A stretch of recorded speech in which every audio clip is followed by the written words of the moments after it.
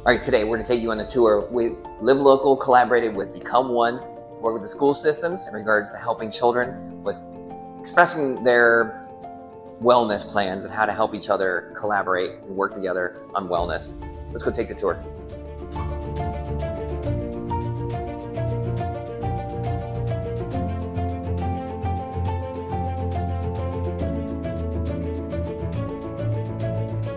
All right, the way the art gallery works is we have pictures of the students doing the things that help them with their wellness. And above it, you'll see QR codes, right? Once you scan the QR code, it takes a video of their actual interview. So this is kind of a neat little gallery. Let's take a look around with the rest.